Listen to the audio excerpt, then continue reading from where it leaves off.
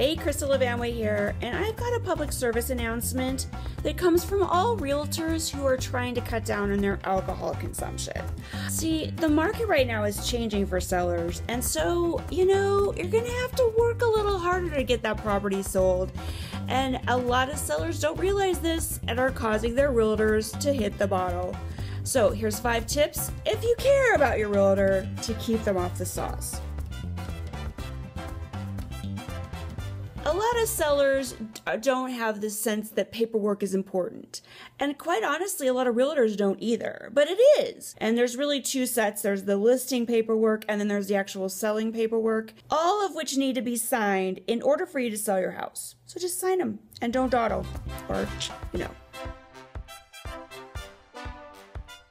There are some sellers that really get into the idea of getting their property ready to sell. They clean it, they declutter it, they paint, they do the yard, they plant flowers. It's awesome. It's like HGTV.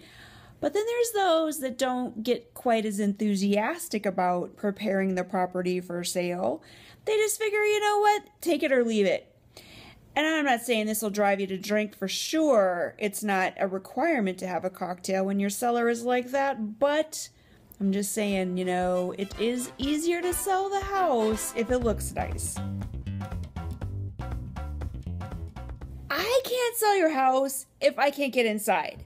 If you have a tenant living there or you don't have keys or whatever and you can't let me inside, there's just no sugarcoating it. If I can't get inside the house, I can't sell it, alright? You would think that would be obvious. But it isn't. It isn't. Oh, yeah. If I can't get in the house, I can't sell it. Seriously, I need the keys. Bottom line. I get it. I get it. Your house is the best house. It's the best house. There's no house as good as your house. I get that. And of course, there's a premium for that level of quality. For the fact that your house has the bigger yard and, you know, it has this really cool family room with some awesome ceiling fans.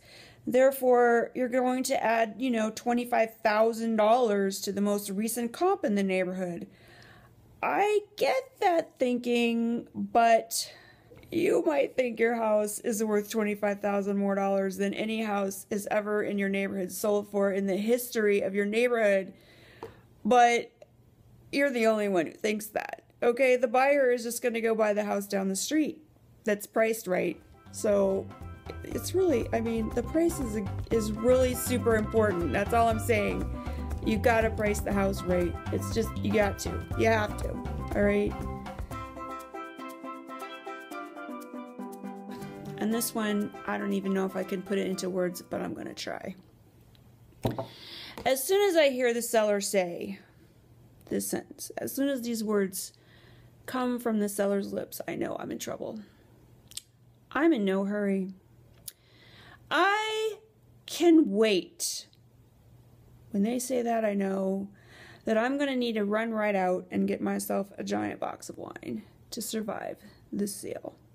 You can't fool me. Your house is on the market. You've listed it, so obviously you have interest in selling it.